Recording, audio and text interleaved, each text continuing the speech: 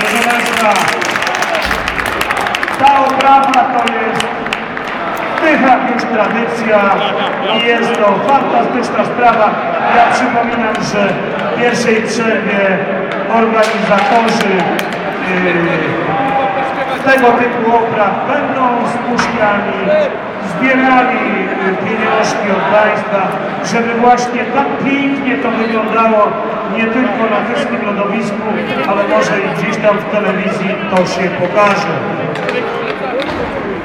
A teraz już proszę Państwa, Polska Liga Hokejowa, pierwsza runda, playoff mecz. GKS Tychy Akuna na Przydiano. A VIP-ów najebało? Proszę, żeby z czerwonego żółtego, E!